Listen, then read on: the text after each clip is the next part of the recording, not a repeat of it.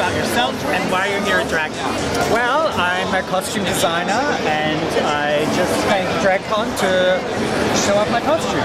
Show off your costume. Tell us a little bit about what you got over here. Uh, I do a lot of custom work and custom design work, and so I did a lot with musical artists. So, and I've done a lot of drag queens. So, I thought this would be the perfect opportunity to showcase it.